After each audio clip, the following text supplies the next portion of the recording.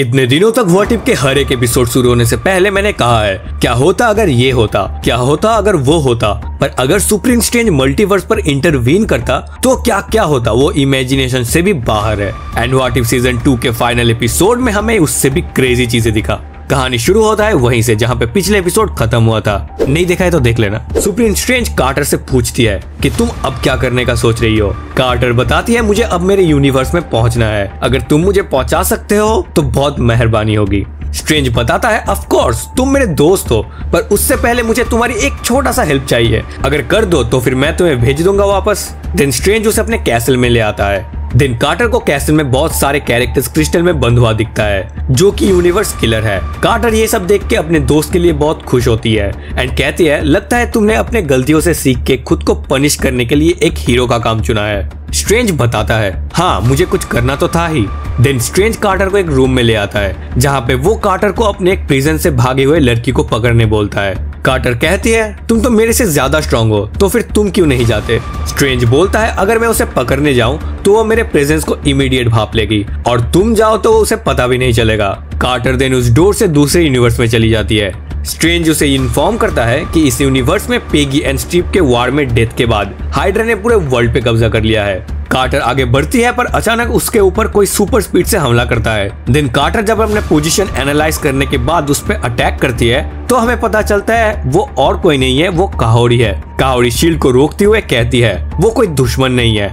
दुश्मन तो वो है जिसके इशारे पे कार्टर यहाँ पे आई है। दिन अचानक स्ट्रेंज पोर्टल खोल के उनको कैसल में ले आता है। स्ट्रेंज जल्दी से काहोड़ी को फ्रीज करने का कोशिश करता है, पर काहोड़ी कार्टर को सब बता देती है कि स्ट्रेंज यहाँ पे किसी भी यूनिवर्स किलर को पकड़ने नहीं आया है। उसने तुमसे झूठ बोला है। उसने एक फॉर्ज क्रिएट किया है अपने यूनिवर्स को फिर से क्रिएट करने के लिए, जहाँ पे वो ना ही सिर्फ़ यूनिवर्स किलर बल्कि बेस्ट हीरोज यूनिवर्स के सेवियर्स को भी डालने का कोशिश कर रहा है। देन स्ट्रेंज के अटैक के बीच में आके कार्टर काहोरी को बचा लेती है। एंड स्ट्रेंज को समझाने का कोशिश करती है कि वो अपने गलतियों को जानने के बाद भी इतना पागलपन कैसे कर सकता है।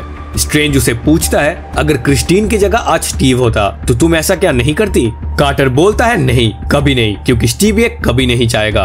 देन फिर से स्ट्रेंज काहोड़ी पर अटैक करता है। कार्टर स्ट्रेंज को रोकने का कोशिश करती है, पर कुछ नहीं कर पाती। आइडिया लगा के कार्टर सारे कैद हुए यूनिवर्स किलर्स एंड हीरोज को आज़ाद कर देती है, एंड उसके वजह से स्ट्रेंज का ध्यान भटक जाता है, एंड काहोड़ी कार्टर को लेकर वहाँ से भाग जाती है। काहोड़ी कार्टर को बताती है की उन्हें स्ट्रेंज के फोर्स को तोड़ना होगा। तभी सामने वो देखते हैं की जोम्बी की पूरी आर्मी उनके तरफ़ आ रहे हैं, क्योंकि उनको लीड कर रही है zombie Scarlet Witch then Kahhori अपने पावर से स्कारलेट विच से लड़ने लगती है एंड काफ़ी ज़्यादा डोमिनेट करती है एंड उसे कहीं दूर टेलीपोर्ट कर देती है। अचानक पूरी जोम्बी आर्मी रेड से ग्रीन हो जाता है, क्योंकि वहाँ पे आ चुकी थी goddess of death Hela Hela सबको नील डाउन करने बोलती है, और वहीं पे अचानक आई एम एस गार्ड्स डूम बोलते हुए सटर एंट्री करता है। दोनों एक दूसरे के आर्च नेमेसिस को देखते हैं एंड हमला कर देते हैं, और वहीं पे मौका देख के काहोरी एंड कार्टर भाग जाती है। अचानक उनके सामने पोर्टल से थैनोस का एंट्री होता है, जो अपने इन्फिनिटी स्टोन से कार्टर पे हमला करता है और पीछे से कोई स्नैप करता है, जिससे थैनोस अचानक धूल बन जाता है। स्मोक हटते ही उन्हें दिखता है इन्फिनिटी किल मॉन्गर कार्टर पीछे हटते हुए कहती है, उन्हें किलमोंगर से स्टोन्स छीनना है। तभी काहोड़ी अपने पावर से किलमोंगर को उसके सील से निकाल के पोर्टल के थ्रू वहाँ भेज देती है, जहाँ पे बाकी कैरेक्टर्स एक दूसरे से लड़ रहे थे। वहाँ हम लिटरली मैड क्रेजीनेस देखते हैं, क्योंकि सारे यूनिवर्स के कैरेक्टर्स एक दूसरे से लड़ रहे थे इवन थॉर वर्सेस थॉर भी।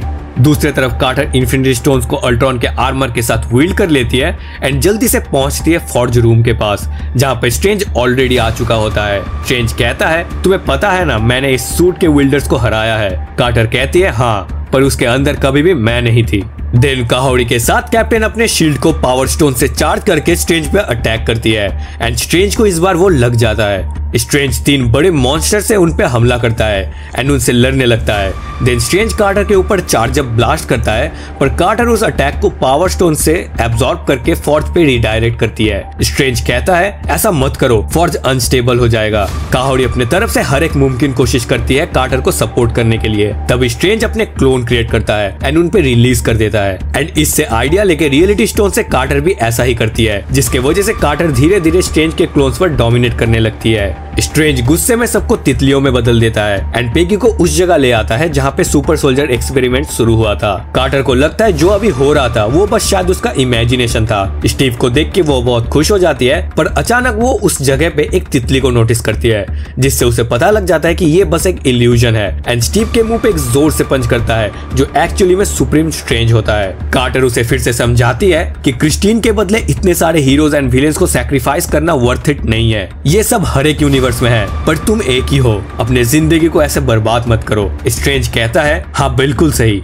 और वो सबको फॉर्ज रूम पे टेलीपोर्ट कर देता है। सारे कैरेक्टर वहाँ से गिर रहे होते हैं, पर काहोरी अपने पावर से फिर से उन्हें पोर्टल के पास ले जाती है। स्ट्रेंज काहोरी को एक स्टोन में लॉक कर देता है, जिसके वजह से वो लोग फिर से वहीं पे गिरने लगते हैं। कार्टर तभी दिमाग लगा के टाइम स्टोन से टाइम को रिवर्स करती है, पर स्ट्रेंज भी अपना टाइम स्टोन निकाल के उसे नलीफाई कर देता है, जिसके वजह से बाकी कैरेक्टर समझ जाते हैं, वो अब नहीं बच सकते। इसलिए थॉर अपना मियोनलिर हिला अपना क्राउन, कॉस्मिक हल्क का वेरिएंट, अपना कॉस्मिक सॉर्ड वेन वो अपना टेन रिंग्स और बाकी सारे भी अपने वेपन्स दे देते हैं। काहोरी एम मौके पे स्टोन को ब्रेक करके निकलती है एंड सबके नीचे पोर्टल खोल देती है, जिसके वजह से सब बच जाते हैं। कार्टर देन हेला का क्राउन एंड हल्का सॉर्ड विल्ड करती है, जिसके वजह से उसके पास भी वेपन्स कंट्रोल का पावर आ जाता है। Kahhori ten rings and Mjolnir को विल्ड करती है, जो प्रूव करता है काहोरी वर्दी है। एंड देन वो दोनों बहुत ही गंदे तरीके से स्ट्रेंज पर डोमिनेट करते हैं। स्ट्रेंज हारने लगता है। इसी वजह से स्ट्रेंज अपने अल्टीमेट मॉन्स्टर फॉर्म में आ जाता है, जिसके वजह से अब मार खाने का मौका था कार्टर एंड काहोड़ी का। क्योंकि वो जो भी स्ट्रेंज पे फेंक रहे थे स्ट्रेंज उसे एब्सॉर्ब करके और भी स्ट्रॉन्ग बन रहा था। इसी के बीच कार्टर का सूट उससे अलग हो जाता है, जिससे इन्फिनिटी स्टोन भी बिखर जाते हैं। स्ट्रेंज अपना अल्टीमेट अटैक उन पे करने ही वाला होता है, पर कार्टर एक आखिरी कोशिश करती है विदाउट एनीथिंग जो की एक डम मूव था। पर देन काहोड़ी अपने पावर से इन्फिनिटी स्टोन्स को कार्टर के हाथ में दे देती है, जिसके कोलाइट में स्ट्रेंज के अंदर से मॉन्स्टर बाहर निकल जाते हैं। कार्टर स्ट्रेंज को फिर से कहती है स्ट्रेंज क्रिस्टीन ये कभी भी नहीं चाहेगी। ये पागलपन बंद करो। पर पीछे से वो मॉन्स्टर कहते हैं पर हम चाहते हैं। देन फिर से वो मॉन्स्टर स्टेज पे कंट्रोल ले लेता है एंड कार्टर को लेके फौज में गिरने लगता है। कार्टर जैसे तैसे करके उस मॉन्स्टर से पीछा छुड़ाता है एंड कूद के एक लेच पकड़ लेती है। वो मॉन्स्टर अटैक करने ही जाता है, पर हम देखते हुए स्ट्रेंज का कॉन्सियसनेस उस मॉन्स्टर को रोक लेता है एंड एक बहुत बड़ा ब्लास्ट होता है। कार्टर का होश आता है तो वाचर कहता है, सब कुछ ठीक हो गया है। मैंने काहोरी को उसके यूनिवर्स में भेज दिया है। एंड हम देखते हैं स्टीफन स्ट्रेंज खुद की कुर्बानी देके क्रिस्टीन एंड उसके यूनिवर्स को रिबिल्ड कर दिया है। वाचर बताता है स्ट्रेंज ने अपने यूनिवर्स को तो रिबिल्ड कर दिया, पर सैडली उसने इस यूनिवर्स में जन्म ही नहीं लिया। ये सुन के कार्टर दुखी हो जाती है एंड पूछती है, तुम्हें ये सब पता था ना वाचर वाचर कहता है हाँ पता था, पर इस बार मुझे इंटरवीन करने का ज़रूरत नहीं था, क्योंकि इस यूनिवर्स के पास कैप्टन कार्टर थी। देन वाचर कार्टर को उसके यूनिवर्स में छोड़ने का बात करता है और कार्टर बताती है, चलो इस बार एक लंबा रूट लेते हैं और हम सामने लोकी का बनाया हुआ मल्टीवर्सल ट्री देखते हैं और इसी के साथ ये एपिसोड खत्म होता है। तुम्हें ये फाइनल एपिसोड कैसा लगा कमेंट पे ज़रूर बताना। बहुत लोगों का मिक्स रिएक्शन हो सकता है, मुझे पता है, पर मुझे ये एपिसोड कमाल का लगा एंड बहुत ही क्रेजी लगा। एंड मेरा एक्सप्लेनेशन अच्छा लग रहा है तो चैनल को सब्सक्राइब और वीडियो को लाइक करना मत भूलना। अब तक डेडपुल एंड लोगन के मज़ेदार एडवेंचर देखने के लिए लेफ़्ट वाले एंड प्रीवियस एपिसोड देखने के लिए राइट वाले वीडियो पे क्लिक करके तुम देख सकते हो।